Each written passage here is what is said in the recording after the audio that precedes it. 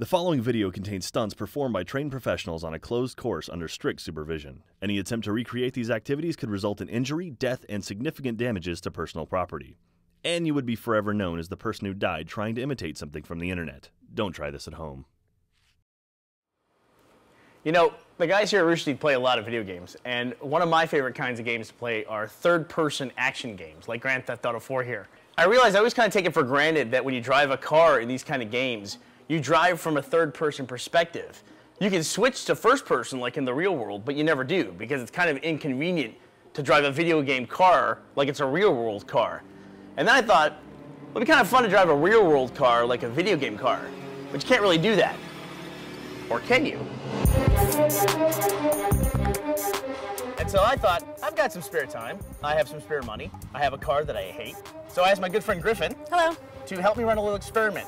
Today, we're going to be trying to make a real life video game car. Come on, let me show you what we did with the vehicle. All right. What do we got here? Well, the main challenge was suspending a camera above and behind the vehicle in a stable fashion. Right. So we custom built the steel Z-bar to fit into a two-inch trailer hitch. Okay. And then we cut an opening for the tripod to fit into. And then on top of that, we have a Canon 5D Mark II DSLR that can take uh, full frame HD video with a 17 millimeter lens. That way we can see a lot of the truck in front of it and on the sides without getting any kind of distortion or anything like that. It's basically about $2,500 worth of camera equipment sitting on top of what looks like duct tape and zip ties Well, that's exactly what it is. behind a truck that's going to be moving at 40 miles an hour. Right, but don't worry about it. We got this. All right. Well, let's uh, let's go see where this video cable goes. Okay. Watch your head. So we've secured a 15-inch monitor behind the steering wheel. Yeah. Run by the HDMI cable from the camera. Okay. And powered by a 120 volt battery. All right, so in theory, the way this is going to work is that everything the camera back there sees is going to be projected on the monitor in front of them. Yeah. And just so that there's no cheating and they don't look past the monitor to the road in front of them, we've blacked out all the windows, including the windshield and the driver's side window. So they won't be able to see anything at all besides the monitor. Safety first, kids. All right, and finally we have here our test subjects, number one and number two. Here's all you need to know, guys. Over here, we have set up a vehicle for you. All you have to do, get in the vehicle and drive the course that we have prepared out here on the runway. Think you can handle that? Yeah, it's easy. What are Good. Monty and Frank doing over there? Yeah, they're like uh, greeters. Think of us like valets. Why do the valets need bats? Go! I don't. No, I.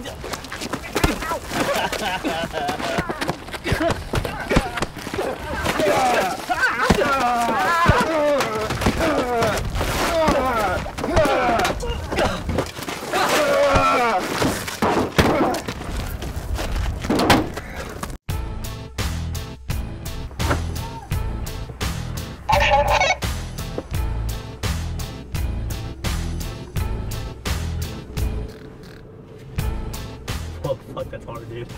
Okay, so all Jeff has to do now is he has to navigate to the finish line using the course that we've laid out here without running over any cones or any of our blow up pedestrians we have along the way. Yeah, too late already. Not that cone. The rest of the cones he has to stay in the middle of. All right, what do you say? You want to make this interesting? Yeah, let's do it. Competition between them, competition between us? Well, how much? I don't know, what you got? 50? 50 bucks, sure. All right. Who, who am I taking? Oh, you can have Jeff. Please take that. You don't want 50 bucks on your own husband? No. All right, a halfway decent horrible ride by Jeff. That was about 13 cones knocked over and two pedestrians. Am I gonna have to do this? Yep, you're on deck, buddy. Get ready. Whoa. That's super, super hard. Go! This is just like Gus's normal walk to school growing up. Ten years of training. Except he didn't, he didn't have a car at the end of it.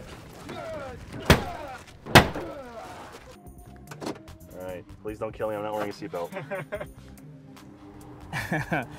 Yeah, he's gonna die.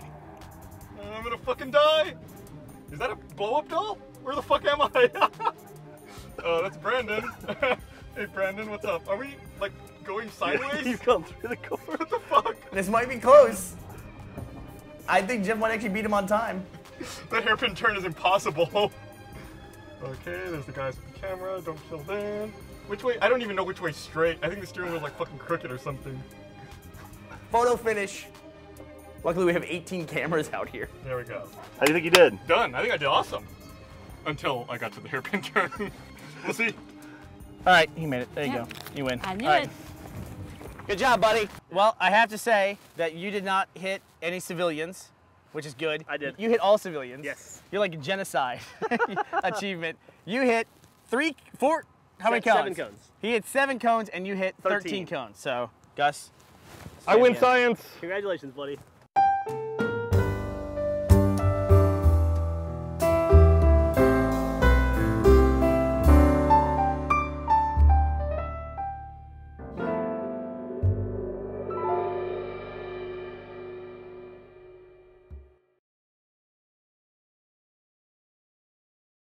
What did you guys learn?